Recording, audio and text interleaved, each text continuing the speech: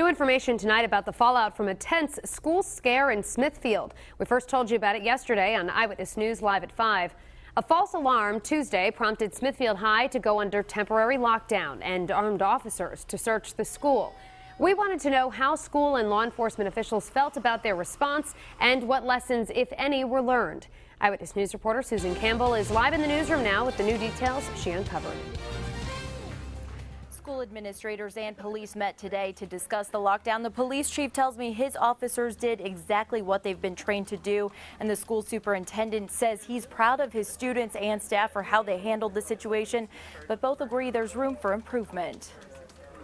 When Smithfield High School went into lockdown Tuesday afternoon, police were on scene within three to five minutes doing room by room searches. One of the officers came with a gun drawn, and I was like, oh my gosh, this is real. The lockdown lasted for about 90 minutes. In that time, school officials discovered the unidentified person who triggered an alarm and lockdown was actually a student who left the building and was let back in through a locked side door by another student. Smithfield Superintendent Robert O'Brien was actually in the building at the time.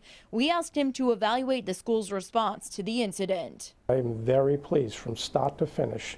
Every single adult did what they were trained and told to do.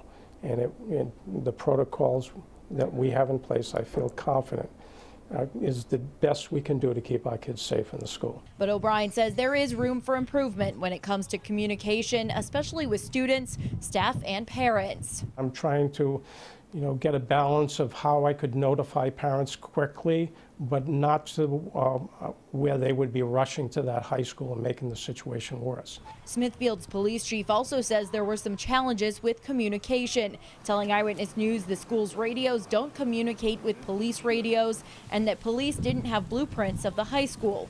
The chief says the radio issue is a work in progress, and he tells us he expects to get a set of blueprints from the school soon. Now, we've also learned during the lockdown, Smithfield police didn't get a single call for service. The police chief tells me if they had, they would have relied on mutual aid or Rhode Island State Police to cover that call, and non-emergency calls would have had to wait until an officer was available. Live in the newsroom, Susan Campbell, Eyewitness News.